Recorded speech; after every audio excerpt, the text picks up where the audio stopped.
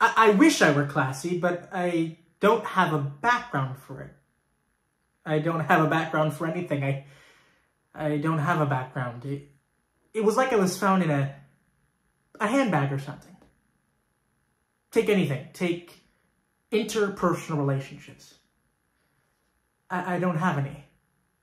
I talk, but no one listens, and it makes you wonder if you're really there.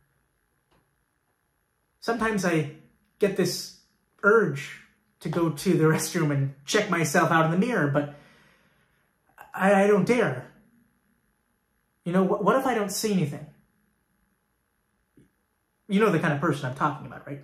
No background, no interpersonal relationships. It's it's kind of like the person who's destined to work in an orthopedic appliance shop. I should know. I work in one. You know, parties.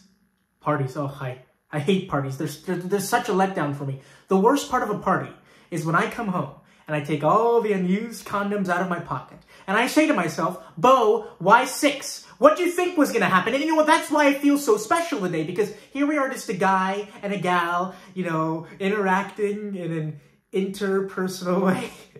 you know what I mean? Huh?